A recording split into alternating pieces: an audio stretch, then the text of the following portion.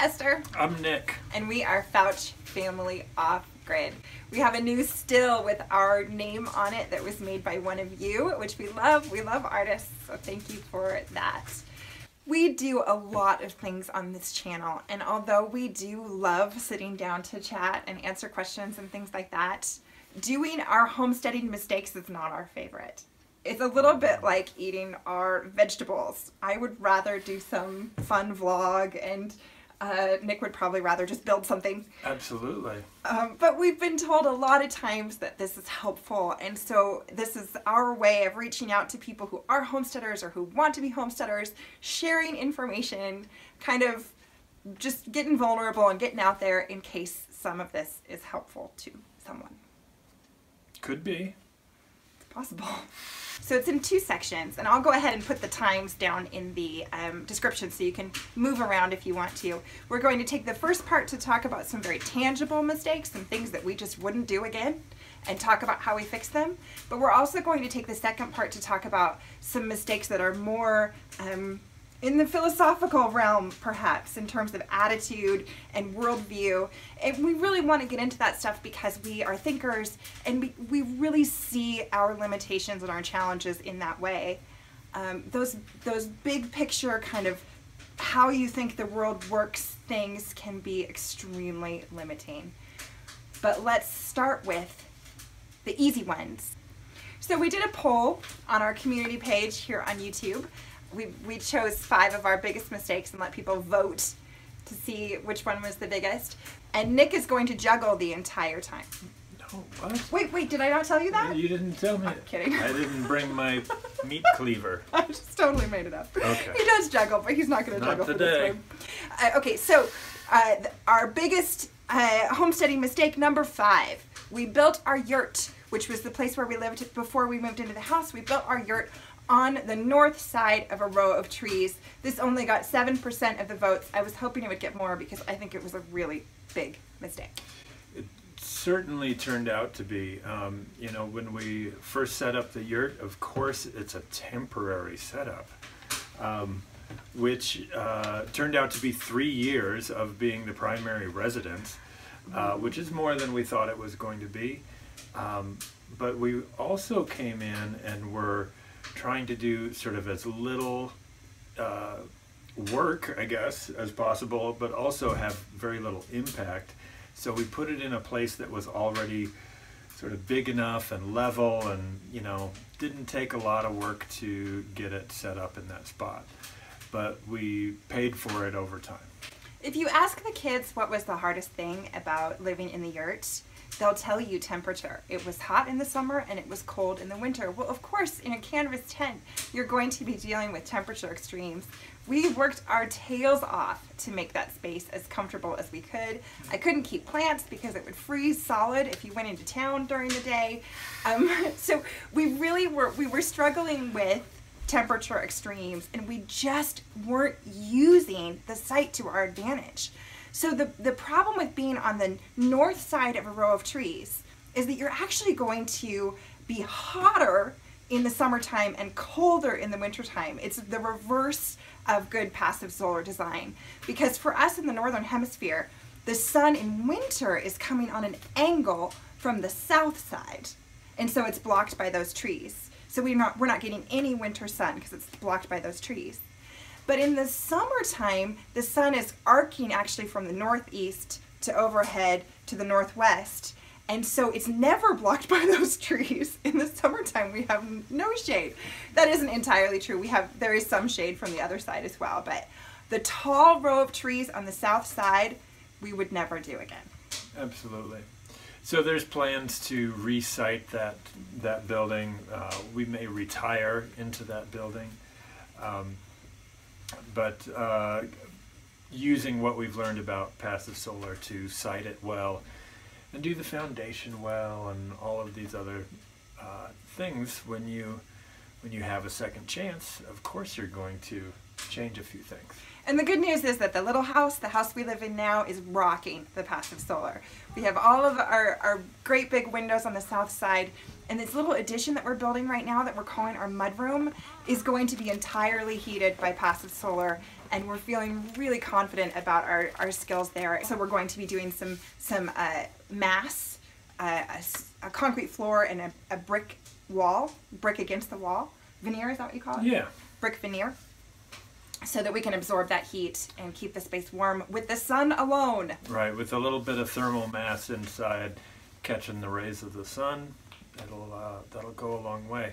All right, the next, with 10% of your votes, we fed an entire field of potatoes to the elk. This really was a lapse in judgment on our part because It was like 150 row feet, right? Mm-hmm. Yeah, which is a lot. And so what this what this mistake really was was fantasizing that we were going to be able to do more than we could at a pretty early stage. Right. So we had always intended to uh, do a fence line on our on that property line that would have stopped that path, um, but I didn't tell the elk about that at all, and so they came right in. Um, so I may have had every intention to put up a fence, but I didn't do it in time, certainly, um, and so we just should have not made ourselves vulnerable in that way, I guess. Right, but to me, this is not as big a mistake as the as positioning the yurt wrong because what we lost from that was a, some pounds of seed potatoes and the effort of the planting. a couple days work or whatever yeah Right. So I mean, the elk didn't harm us, and they, there wasn't a comfort issue there, but it was clearly an error on our part. Yep. How are we correcting this? Well, we are working eventually on a fence line, but we've also been gardening in smaller plots in places where we move and can be all the time. We have a great dog. Her name is Fia, who's great at helping to chase away the elk and to protect our crops. But she can't do three acres 24 hours a day um, especially because the elk are huge animals and they're not scared of dogs.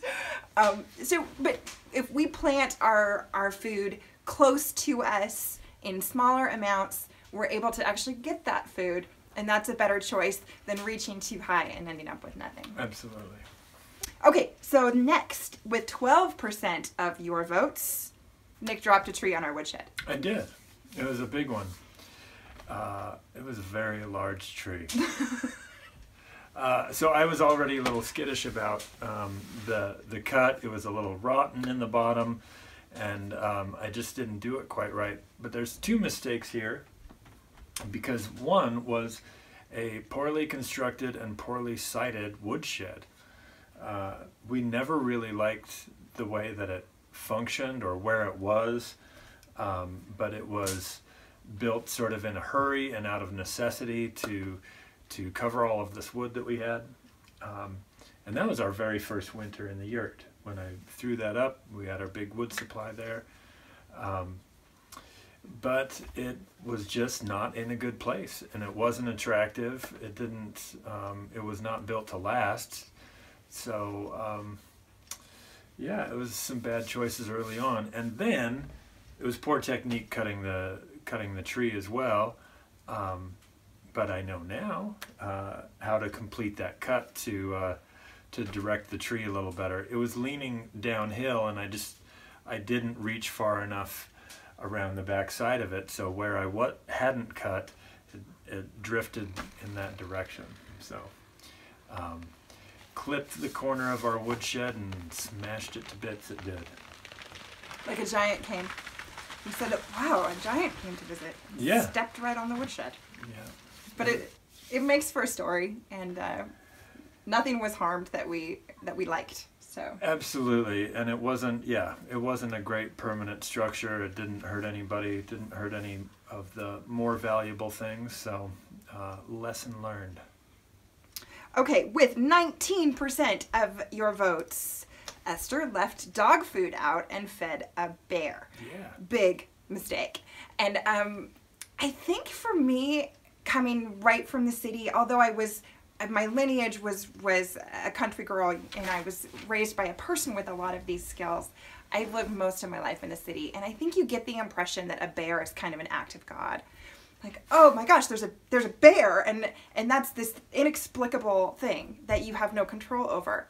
Um, but in fact, bears are extremely predictable, and they respond to their environment. We have black bears here, not grizzly bears, and it's completely possible to coexist with black bears without getting yourself hurt. Um, it takes a little common sense. And having a large quantity of food that the bear liked right outside my door was not the good move there. So we've, we've corrected this by having a, we have a trash shed now where almost anything that a bear would like to eat is securely locked up. And our dog also helps with this. A really good, bold, barky dog. Dogs and bears don't like each other very much. Very helpful. And the bear, their bear population still moves around us, passes by, but we've not ever again had the experience that I had that first time, which was a bear setting up camp in front of my front door. Nick was out of town, and I'm hanging out in my canvas tent with my three tiny children, thinking And the- this is not a good Right. situation. And the bear is just waiting outside, wondering when more dog food gets poured out. right, exactly. Um, and that's what they're after. Is they're after those easy calories. So if you if you police up all your easy calories, the trash and the dog food and chicken food and, and everything else, then you you shouldn't have a problem because they're just not going to work that hard to go after your other stuff. And we should clarify that it depends on your location and how many bears there are and how hungry they are. But it, the, the mistake that I made was thinking that I couldn't control what the bears do. The bears are just kind of this mysterious force of nature. Um, Whoops, we moved in with bears. right. You can do a lot to keep yourself safe from rather predictable animals. And here's the number one of the five big mistakes we gave you to vote on, with a whopping 51% of your votes. We built a house without dealing with the drainage around it. That is true. We didn't build a house without considering the drainage. We knew that was an issue, but it was also, um, it was also, you know, it's like my well-intentioned fence. It doesn't do anything if you don't actually get to it. Right. So we um, we're on the side of a hill, and so we're always going to have uh, drainage issues, much like we're always going to have the uh, the issue with um, siting for uh, for solar gain. Uh, we're always going to have these things, um, and so the the house site needs to have water carried from the uphill side of it around and away. Um, and we didn't do the final grading around the house before we moved in, and we didn't put in a foundation drain before we moved in. So uh, this year, uh, about a year later, we backed up. We dug out down to the foundation, put in a foundation drain, and did all the damp proofing on the on the concrete, um, and uh, bear, and filled it back in and did all the final grading. And uh, I think we're going to be in much better shape this year. We haven't seen any damage, but when we dug in there, there were roots on the foundation that were chasing water. So we did have water sitting against it, um, but uh, I think we're in a much better situation now. And uh, I guess it's the, almost the same lesson. Don't don't put it off. Don't delay. Keep those all those steps in order, or um, or you're going to pay for it in effort or some sort of loss. Yeah. Do it. That's more like